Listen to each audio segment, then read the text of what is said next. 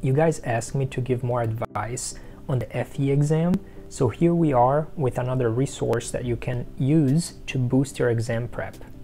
Since it's been about six years since I took the FE exam, and my study strategy back then was just the NCEES practice exam, I brought in some backup help to help us understand what's actually working for people today.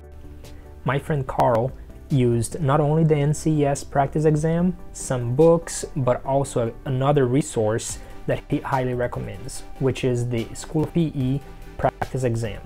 Now, without further ado, Carl, take it away.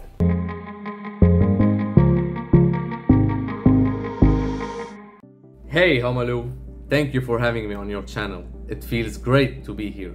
So, having passed the FE exam recently, and having gone through the School of PE's FE Civil Practice Exam and Solutions, I can speak for how beneficial and helpful this practice exam was to me.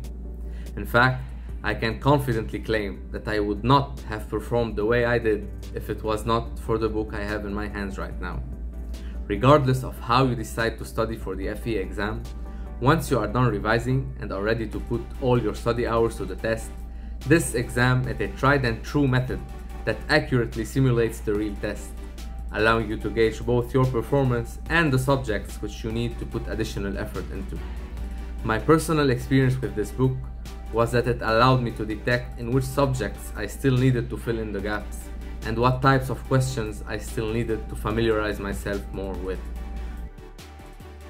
It does a great job going over every subject and the difficulty of the questions accurately reflects the difficulty of the real test.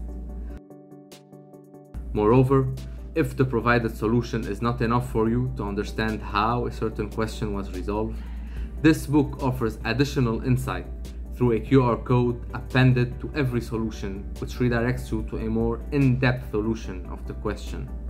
All in all, I believe this book is a great addition to your arsenal of resources, which you can use to supplement other practice exams by also using it as a tool to see if your performance has really improved after having gone through other practice exams and worked on your mistakes. Because let's face it, after going through a practice exam and working on your mistakes, the question of whether you have consolidated your knowledge of a certain subject enough or not remains unanswered until exam day, and that can add to the stress of exam takers.